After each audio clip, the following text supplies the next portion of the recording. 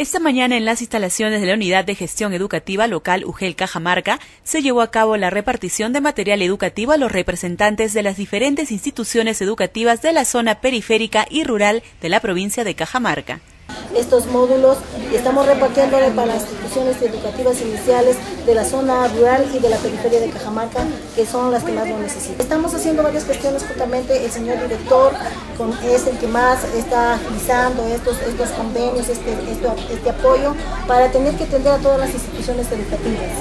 La semana pasada también se entregó 20 módulos de educación psicomotriz para lo que es los programas no escolarizados del primer ciclo, los SED, o sea, salas de educación temprana.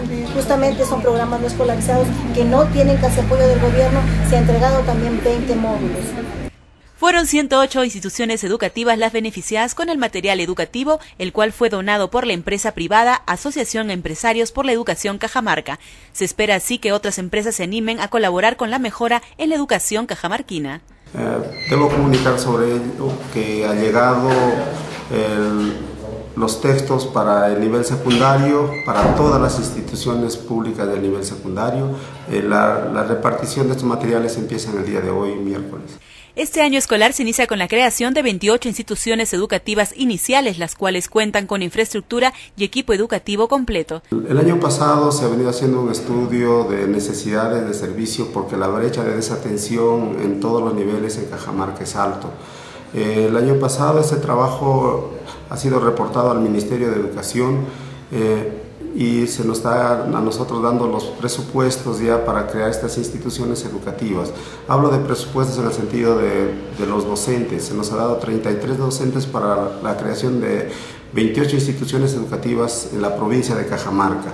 Como todos los años siempre se presentan problemas con algunas apafas, las cuales condicionan las matrículas a los padres de familia. Eh, las matrículas antes se lo hacían a través de exámenes donde los eh, los directores, las APAFAS, cobraban a los padres de familia, condicionaban a los padres de familia. Pero eso nosotros estamos ordenándolo.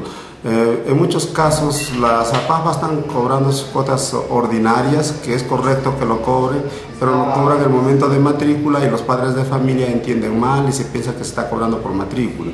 Todo ello estamos coordinando con los directores, con los presidentes de las APAPAS para que estos cobros lo hagan en otro momento y los padres de familia pues no tengan que estar confundiéndose. La UGEL Cajamarca hace un llamado a los padres de familia para que no se dejen engañar al realizar pagos extras por matrículas, así como invita a la población a denunciar cualquier irregularidad en las instituciones educativas.